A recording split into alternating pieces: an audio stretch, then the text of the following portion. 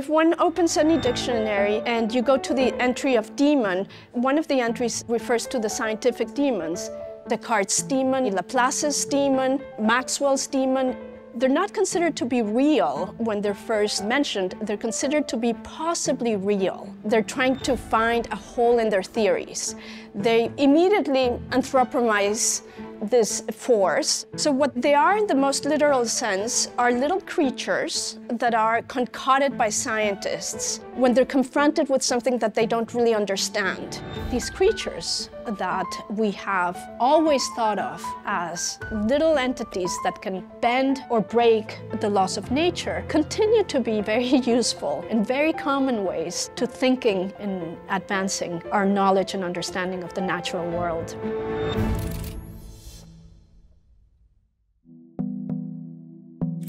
I'm Jimena Canales. I'm a historian of science. I love science. I admire it tremendously. That's why I started studying. But there was this other aspect of it that I felt that we had to talk about. It was scientists discussing demons. These demons share similar characteristics to those other demons in the past, like Beelzebub and Lucifer. They're usually very fast or very big or very small. They can break the laws of nature. They're not necessarily evil, but they create power imbalances. They can be helpful or they can be mischievous. One of the strange things about it is that you read scientists in their scientific papers actually talking about these creatures and having other scientists name them after the famous scientist. Descartes' demon is very appropriate for us to start because he's the demon of virtual reality. He had the ability to install an alternate reality right in front of your senses. Therefore, you could no longer tell if you were you know, living in the matrix. You couldn't tell what the real world was in front of you. This was a very scary thought for Descartes. I think it is for everyone. It's one of the themes that continue to be brought up in science fiction. It was also a fascinating thought because we're all fascinated by spectacle and by creating these situations in which we can fool ourselves to think that we have reality in front of us and it's really just an alternative reality or virtual reality.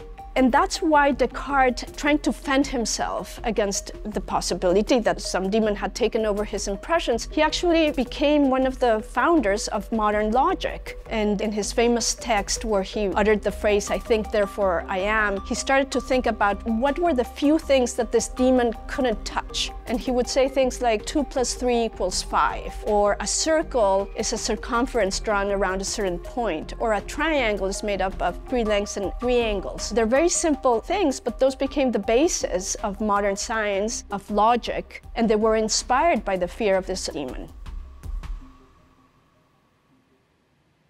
Maxwell was a scientist of the Second Industrial Revolution of the, Victorian Empire.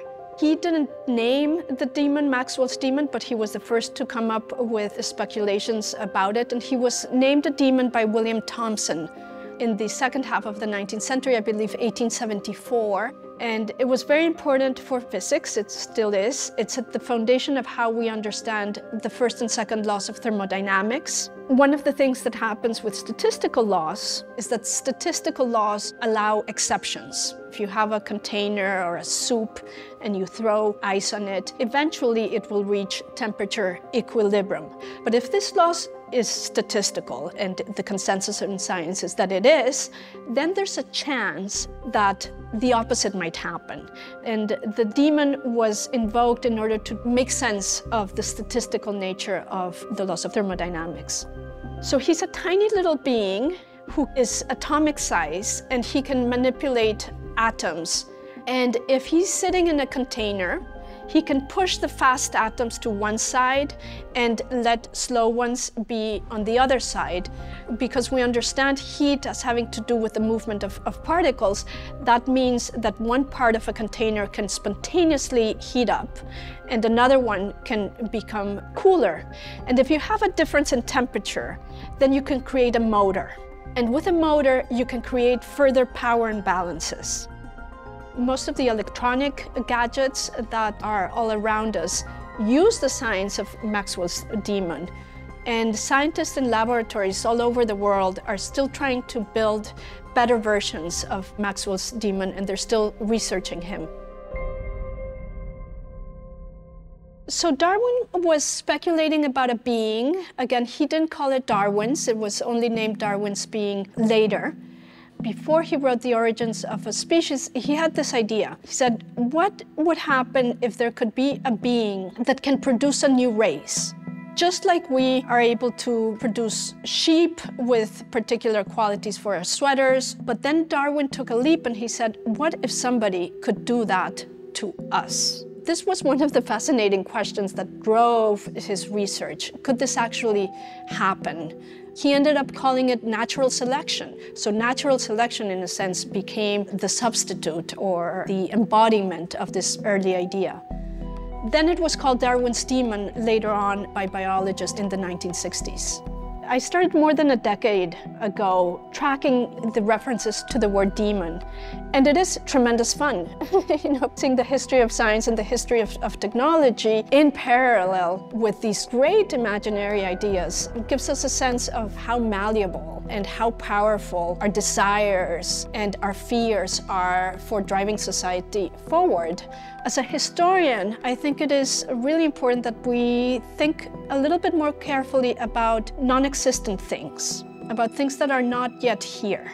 I understand this is original and bizarre and strange to try to move our thinking about history and the past and the future based on non-existent things. But if we don't start thinking about them, the future development of our world and our technological universe is really going to escape us. So I want us to take a step back and think about what we're thinking about.